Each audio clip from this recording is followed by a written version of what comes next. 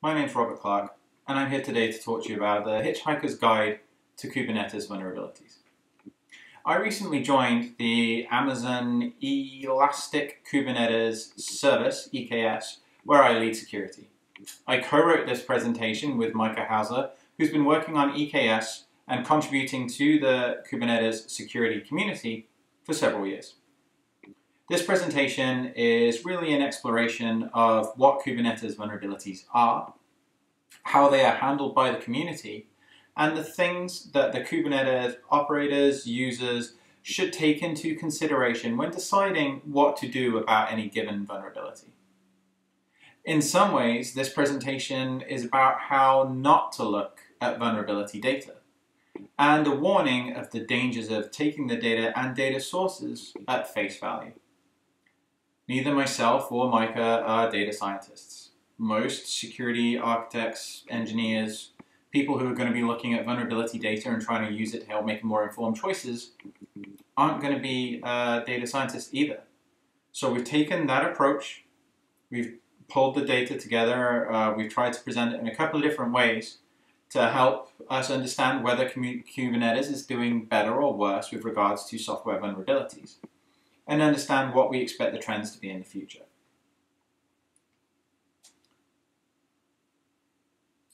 In the spring of 2021, Red Hat produced a Kubernetes security report. It was a short, useful survey of industry, but it showed that vulnerabilities were only the second most concerning issue raised among the more than 500 DevOps engineering and security professionals that participated in the survey. There were some interesting callouts in the survey. 94% of respondents experienced at least one security incident in their Kubernetes environments in just the last 12 months. That is a, a terrifying statistic. And 55% uh, of respondents actually had to delay or slow down application deployments into production due to container or Kubernetes security concerns. So while vulnerabilities might not be top of mind for survey respondents, I believe that market pressures over the next 12 years may change the results of a similar survey. And what do I mean by that? Well, there's lots of attention being paid to improving the secure defaults in Kubernetes, right? This is where everything the far, far left of this graph today is all about misconfigurations. There's an entire ecosystem of tools uh, and support aimed at improving the full life cycle of Kubernetes deployments. By contrast, not much has changed in the vulnerability management space in the last 10 years or so. So it's important for us to understand what the vulnerability posture of Kubernetes is likely to be over the next few years because not much is going to change in this space. So we should get into what a vulnerability is. And for the purposes of this presentation, it's a design impl or implementation defect that negatively impacts Kubernetes in one of six dimensions. So confidentiality, that means something that uh, should be secret is no longer secret. Integrity, something that should be trusted to be one state and not written, can be written and therefore untrusted. Availability, uh, thing that goes, should stay up, goes down. Authentication, I know who you are and I can be reasonably sure that uh, in that assertion, um, authorization, um, I know what you are able to do and a vulnerability that compromises that might mean that you can do things that you're not supposed to be able to do. And audit. Audit's actually really important to us as uh, security uh, practitioners to really understand what's going on in a Kubernetes system. So the ability to disrupt that and either add malicious things to an audit trail or cause certain operations to not be logged. Both super, super important for us to pay attention to. So within Kubernetes, the Product Security Committee, which, is, which was recently rebranded to the Security Response Committee, uh, deals with vulnerabilities. Um, this rebranding better reflects the function of this wonderful group of volunteers whose names are up on, up on the slide right now. They've come from across the Kubernetes ecosystem and they provide time, support, and expertise to triaging, remediating, and coordinating the responsible disclosure of Kubernetes vulnerabilities. So what happens in the life cycle of a Kubernetes vulnerability? Well, a researcher will researcher will discover an issue, um, and they will hopefully report it responsibly to the the security uh, response committee. At that point, um, their process takes over. So uh, a public disclosure date is negotiated between the SRC and the bug submitter. Um, the SRC will always prefer to fully disclose the bug as soon as possible, but that must be after a user mitigation is available, apart from in situations where no mitigation can be made.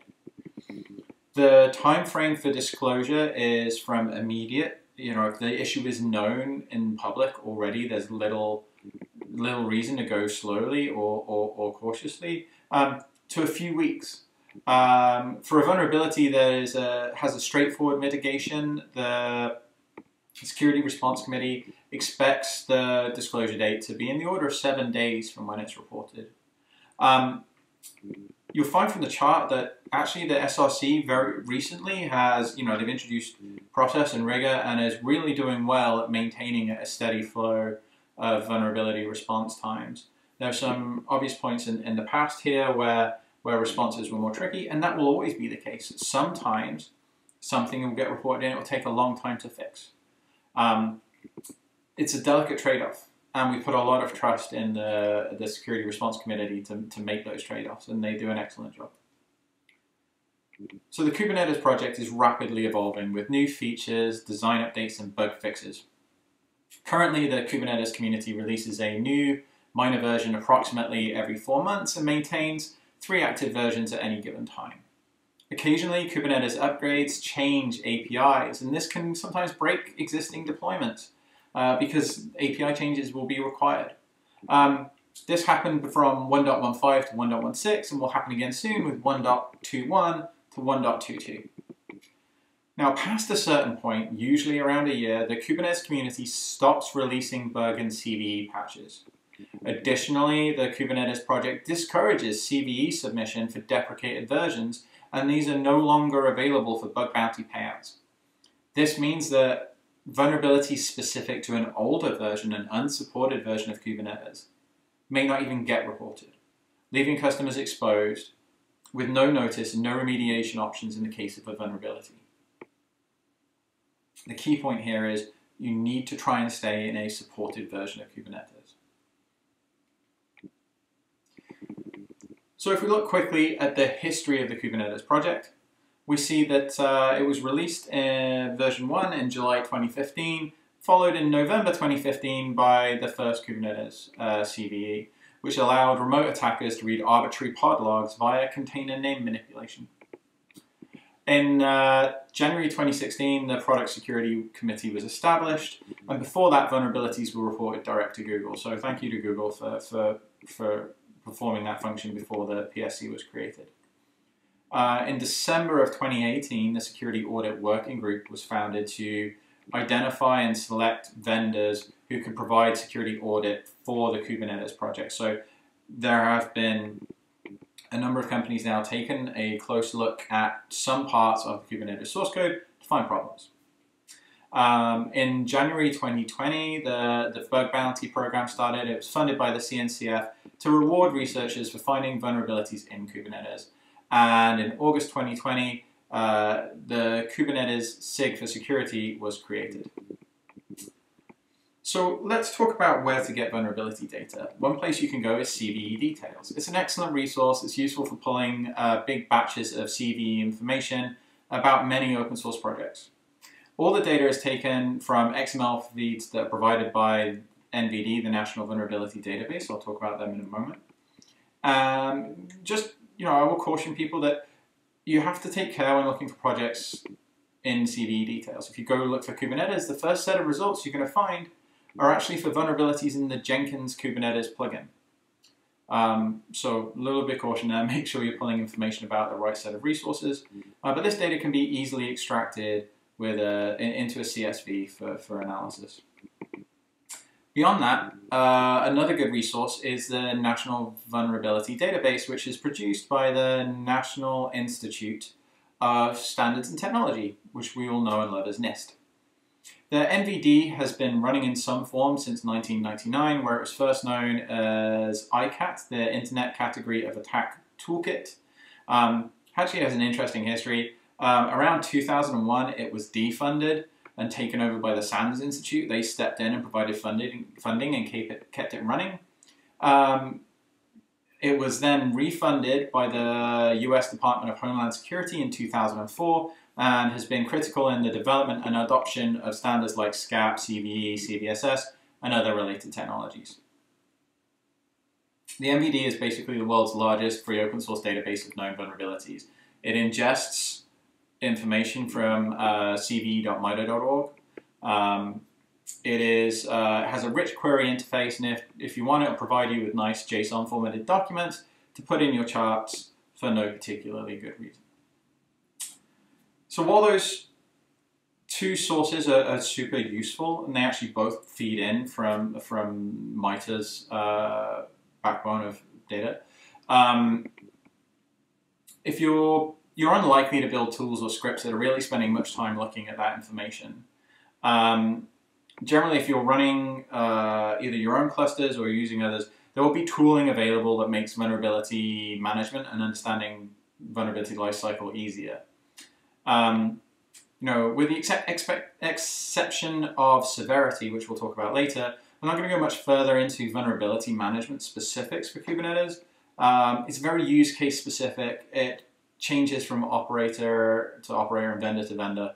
Um, but I would encourage everyone, obviously, to look at what is available, what is made, uh, what is natively in your platform, and, and make sure you have a good understanding of, um, of the threats that your, your platform may be facing.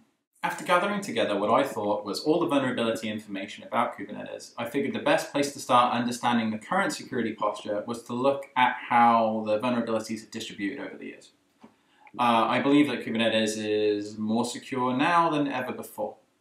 So can I make this presentation really quick by showing a nice graph that slopes down and to the right?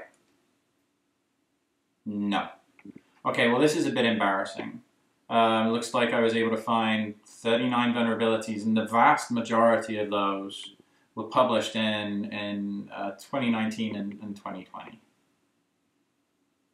Okay, so what can we say about that? Like, was was 2019 a terrible year for security? Why did I have this sense that things were getting better? You know, is the annualized view even a useful one? We probably need to add some granularity. So vulnerability distribution by year might be an unreasonable thing to use as an indicator. After all, there can be three or four releases in a year. So I decided to map the vulnerabilities by release. You know, this paints a more interesting picture. We can see that there was a big spike in 2019 around the 1.14 release, but subsequently vulnerabilities had started to drop off. Maybe now we can start to classify periods in Kubernetes vulnerability management history and look for trends. Okay, so clearly security was great in the early days of Kubernetes. Uh, maybe it actually stayed pretty great all the way up to the end of December 2018, you know, modulo a small hiccup around the 1.9 release.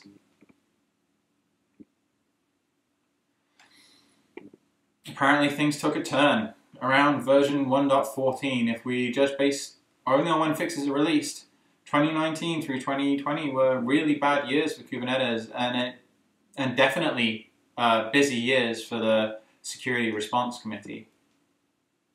But at least things seem to have gotten better recently, with only one issue fixed in the last couple of releases. This data based on what is currently available in the MITRE NVD, like our canonical resource for K8s, um, it didn't, that doesn't, that doesn't seem right. I'm pretty sure there have been issues recently, but I checked CVE details, I checked NVD. Um, so I, you know, do what everybody does when they're a bit confused, is go to your favorite search engine of choice uh, uh, and have a look at the issue. You know, was is, is 2021 the best year in history for Kube security? Can we conclude from the lack of CVEs that everything's been fixed? Well, Google says no. Google says there is more data that for some reason isn't readily available or hasn't made its way through to to the to the NVD database yet. So let's go ahead and let's add that add that data to our graph. Now, one of the vulnerabilities that you saw in the um, mailing list uh, screenshot there was a very Windows specific client thingy, so we kind of grayed that out here. But either way, um, it's looking a little bit more concerning now. You know, actually we've got this big red block. Uh, I guess at this point we should pause to make three key observations. Uh, one, Kubernetes is clearly doomed. Two, uh, there is sometimes a significant lag in Kubernetes vulnerability information making it into the MITRE CVE list, which feeds tools like NVD and CVE details. Uh, so you need to track or you need to make sure that the tools that you are using are tracking the Kubernetes security announcements in the mailing list and, and making sure that you're getting up-to-date information. Okay, so here's our updated our updated chart. Um, so what can we really say about this? Well, you know, we can we can look at a trend line and we can say, well, maybe actually this looks a lot like the distribution graph we saw earlier in the presentation. Like it's it's going up and to the right. It's not looking the way that I was hoping it would look. And if you judge Kubernetes solely by the, the number of vulnerabilities published and when the, you know, and, and at the release time, it certainly seems that the situation is getting worse. The thing is, many things can influence the number of vulnerabilities that get published in each release.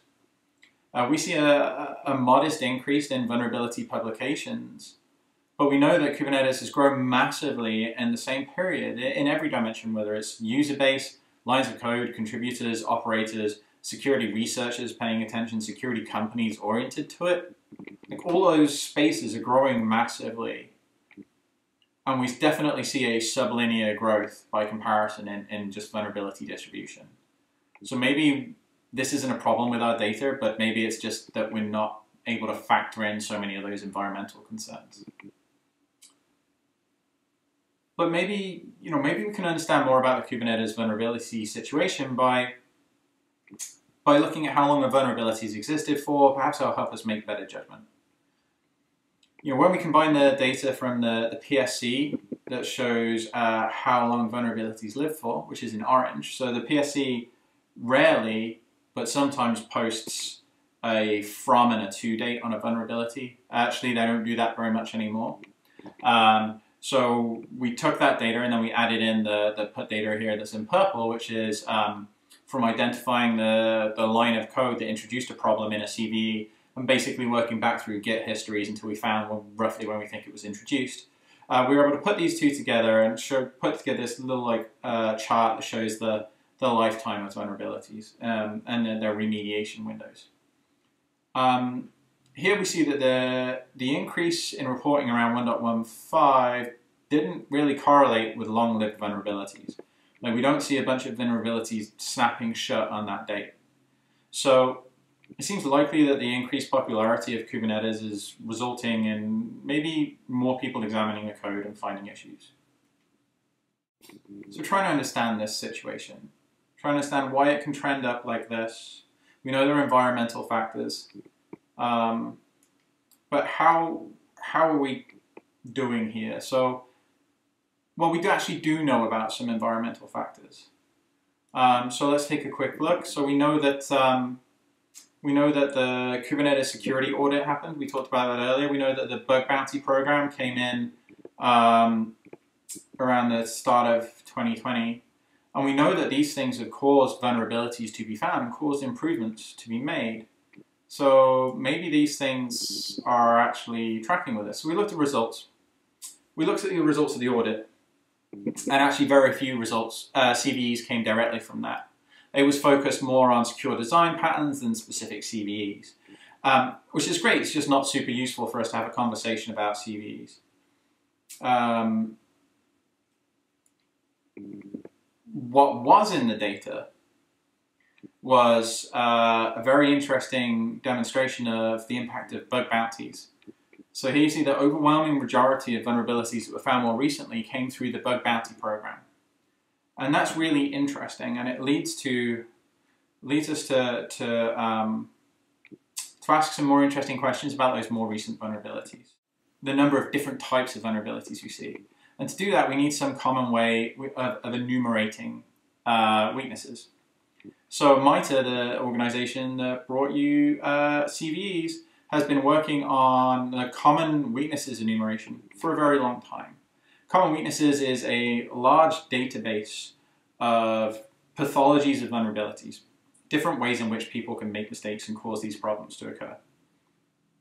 It's a community-led effort uh, to continuously categorize all these weaknesses, and it provides us with a mechanism uh, to understand what went wrong and track classes of issues over time. So again, we'll go and have a look and we'll chart the number of differences in CWEs. And you know, we'll start with this big ugly graph, as you've gathered I like to do at this point. And uh, we see again that there are lots of vulnerabilities here. There are lots of unique CWEs here, and a lot of them happen around 2019. But we do see a good drop-off around 2020 and 2021. So let's have a look at what that looks like in a slightly different format. So a number of the, the categories here are clipped. But the, the interesting point here is that the distribution is fairly even. Like there is just a lot of vulnerabilities going looking through all of Kubernetes, a lot of vulnerabilities in a lot of different parts of the CWE, which means just holes everywhere, Swiss cheese. Uh, problematic from a security point of view. Um,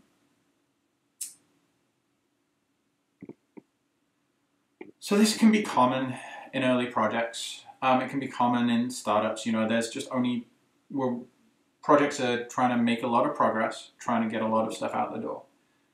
But it's really concerning if we're seeing huge swaths of CV, CWEs uh, presenting in a project that's been running as long as Kube has with as many people paying attention to Kube. And if we take a look at just the data from 2020 and 2021, we actually see um, many fewer CWEs. Um, and what's particularly interesting here is that you know the bug bounty pattern starts to starts to have some interesting impact. So um, the graph is a little bit clipped, and we'll produce the we'll provide the data after this talk. But um, insertion of sensitive log information uh, was this big uh, light blue patch, the 20 28% of all issues found. And that's interesting because it was one bad logging pattern that was identified in num numerous parts of the, of the source code. So we think the frequency of reports increasing and the diversity of CWEs decreasing is an indicator that the security audit, followed by the bug bounty program, has pruned much of the low-hanging fruit of the Kubernetes codebase. Vulnerabilities are still being reported at a reasonable pace, but the diversity of them is reducing. We know that modern bug hunters use tools like semgrep to find repeated instances of issues in codebases. And this pattern of identifying an issue and then all of its siblings in a codebase is common. Uh, we're also reassured by the announcement of further code audits that are going on in the Kubernetes uh, ecosystem soon.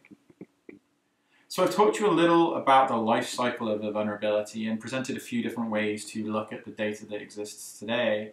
Um, and we've talked about how a vulnerability goes from being discovered to a CVE being published. And I want to spend a couple of minutes uh, to talk a little bit about how to manage vulnerabilities in your Kubernetes infrastructure. And I'm not going to get into like bits you need to go flip, but I want to make you aware of um, aware of mechanisms that you should be considering when you're having to decide how important a vulnerability is, because we all have to. Like, this is probably an email that many of you have received at some point or some variation of it for sure. Um, for some of us, emails like this are almost a daily occurrence, and with good reason. Vulnerabilities in Kubernetes are serious business, and if not managed appropriately, severe vulnerabilities can put workloads or even entire clusters at risk. So I've talked to you a little bit about the lifecycle already, um, and I'm going to talk to you now about CVSS v3 and rescoring and why it's important. Because very few organizations do this. And I'll give you an example of one that does it really well uh, in a minute, but I'm just going to walk you through it quickly because it's very important. So all of the vulnerabilities we've talked about, have had a CVSS score. Take this mythical vulnerability. It's very rare. The exploit is easily triggered remotely and can be used to change the system's integrity, break the system's availability, or steal data, i.e. confidentiality. This looks like a game over, unplug the internet vulnerability. Um, only you know how your software is deployed inside your organization. And the more you know about software and its purpose with its data holds is, is very important to how you consider how to deal with the vulnerability. So I mention this here because I want to talk to you about the changes you can make. Look, it's not red anymore. It is now a lovely shade of light yellow. And our high 9 plus vulnerability has dropped down into the 3s. Um, this was all to do with environmental scoring. So the environmental score goes to talk about how it is a vulnerability can change depending on how it's deployed. Um, not all Kubernetes vulnerabilities are reachable by all parties. Uh, maybe your control plane is strongly segregated from your data plane. Maybe you run individual clusters for different website. Um, this vulnerability uh, actually got upscored by Red Hat. Red Hat telling their customers, hey, this CVE for the way that Red Hat believes that their software is being deployed is actually more important it's more important than, uh, or more severe than the NVD rating.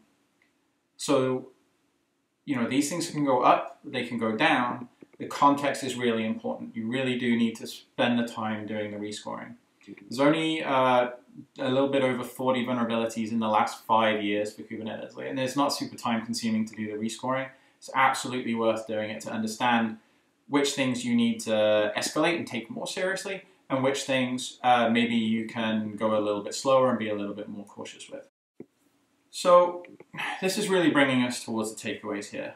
Um, this has been a whistle-stop tour of how Kubernetes vulnerabilities can present.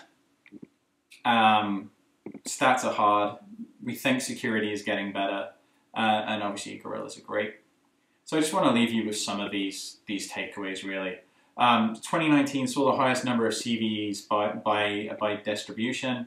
Um, the number of vulnerabilities increased over the last several years. We think it will continue to increase. But we think that this increase is sublinear compared to the numerous different dimensions in which Kubernetes is just exploding in terms of size and growth.